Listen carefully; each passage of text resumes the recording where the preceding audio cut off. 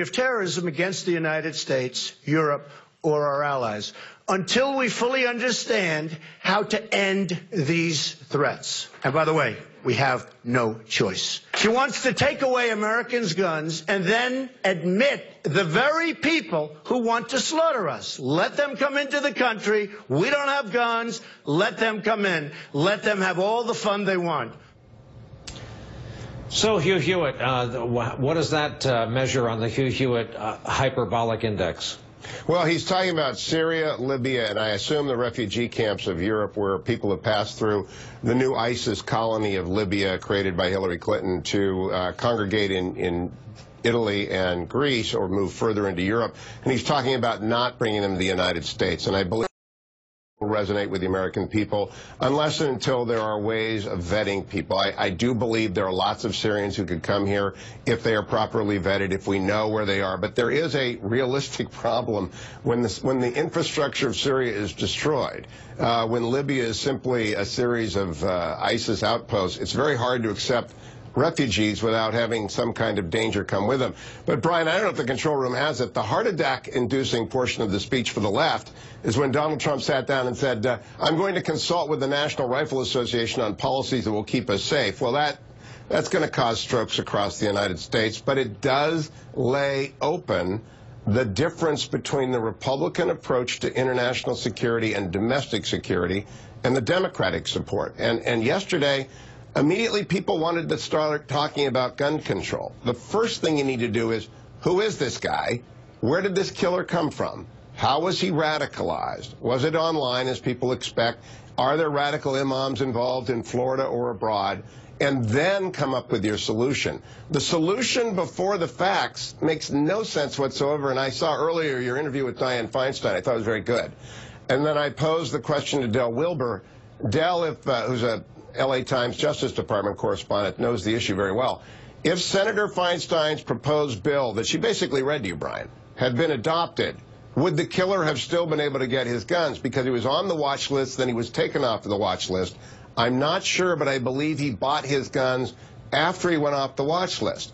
So Senator Feinstein's bill that she spent all of her time talking to you about would have had no impact on stopping this atrocity. Well, so I, that to me is what Trump's getting at. To the other questions you just posed, who is this guy? Where is he from? Uh, we we kind of have our answers on that. He's from not far from the Trump family home, Queens, New York. Moves to Florida. Yesterday, one of our described him as a losery guy, a uh, a security guard with aspirations to someday become a cop, self-radicalized. Uh, reasonable people can disagree. It may be a grandiose term for what happened to this guy who uh, was perhaps looking for an influence, looking to make a name for himself, uh, grabbed his influences from different strands of orthodoxy, and uh, sadly, we know the rest. But I think what so many people are complaining about, former member of the watch list, they were worried enough about him to insert into his life for 10 months and put an undercover guy on him. That thread was lost. He goes to buy two formidable weapons, and there's no connective tissue. And, and it's interesting, where was he from? We're all from different places now, not merely geographical. You're kind enough always to reference I'm from northeastern Ohio, and, and I wear my Ohio flag proudly, and I'll root for the Cavs tonight and the Browns and the Indians. But I'm also from every Twitter account I visit. I'm also from every website that I spend time on.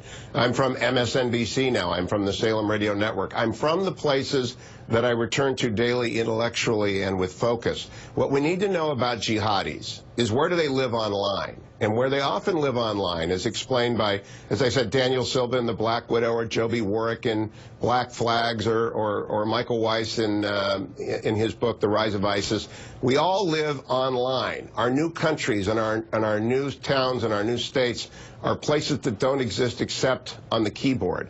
We need to find out where this individual lived online and connect those dots. And what Senator Feinstein, and I followed her the last time I was on talking about this, I think she's got to get modern. She's got to realize that a watch list presents serious due process problems to people who end up on it for no apparent reason. And it doesn't work if you take known jihadis off the watch.